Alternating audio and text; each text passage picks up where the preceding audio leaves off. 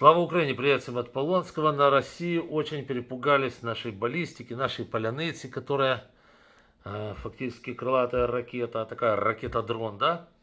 Всего этого перепугались. И вот очень интересное наблюдение. Я вот сейчас вывесил на телеграм-канале очередное разглагольствование из, э, с одной из центральных российских телепомоек. А, ссылочка внизу в описании к данному ролику, как обычно, кому интересно, можете посмотреть. Но суть я вам передам и так. Значит, смотрите, что у них происходит. Они страшно испугались этих ракет. Э, ну, то, что они перепутали баллистику там в этих своих спичах с крылатой ракетой, это, как говорится, э, еще бог с ним. Но, в принципе, их, да, они, они реально, когда говорят про Помните, было, возможно, мы, возможно, я говорю, что мы, например, могли восстановить э, или довести до ума ракету Гром-2. Ну, это баллистику, да? Ну, могли? Ну, да, в принципе, да, в принципе, могли. Хотя, может, это что-то другое. Мы могли довести до ума или там что-то препарировать, как-то сделать по-другому ракету, э, как она называлась, С-18, по-моему, да, или СС-18, как-то так. Э, могли, могли. То есть все что угодно могли сделать. Вот. Э, но это была бы баллистика. Вот. А параллельно у нас же сделан ракетодром Поляныцы. Они его почему-то назвали э, баллистикой, при, при этом обозвав ну, я, я даже не могу так сказать, как Поляныся, как они говорят. Они сказали, что это типа поли, Полиныца. Полиныца, как-то так сказали. Но у них язык не работает, да, как у, как у нас. Поэтому такое дело. Дело не в произношении, дело того, что они с перепугу все перепутали. Э, прекрасно осознавая, что у них нет шансов эту штуку сбить особенно баллистическую, прибывают в состоянии гроги, ждут удара по Москве. По Москве. Знаете еще о чем говорят? Это мне тоже очень, кстати, а, понравилось своего рода. Смотрите, они говорят о том, что это, нас, чтобы не было аж так обидно.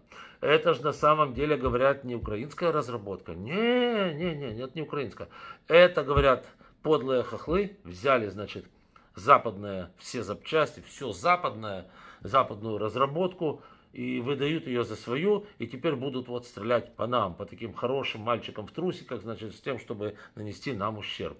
Ну, в ответ на это я могу сказать, нет, все-таки ничего подобного той же самой поляныце у вас никогда в жизни не бывало. Что же касается Грома 2, это очень старая разработка, она уже ведется черти сколько. И западная, скажем так, ну понятно, что там будут западные запчасти, это и коню ясно. Вот, но, скажем так, западные страны там далеко не первую дудку играют вообще.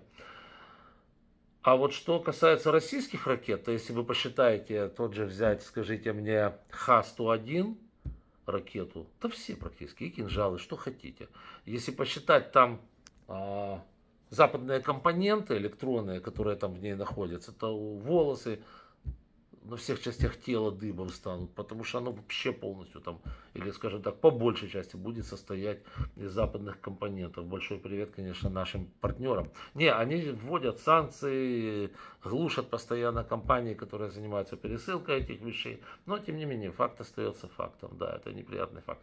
Да, и в то же самое время вот говорят, что мы, да, мы, вот Украина воспользуется западными разработками. Так это я вам сообщаю, что у нас вполне достаточно наших разработок для того, чтобы нанести удар, например, э, по той же самой, по району той же Москвы или там, ну, Санкт-Петербурга я не думаю, Москва так точно в пределах досягаемости наших ракет. Вот. Ну, вы опять поймите все это правильно. Э, вы начали так называемую спецоперацию, вы начали де-факто войну, вы. Ну, а что же вы ожидали? Что будем сидеть на месте и ждать пока вы нас прихлопнете. Нет, мы построили поляныцу, а теперь хотим поделиться ею с вами.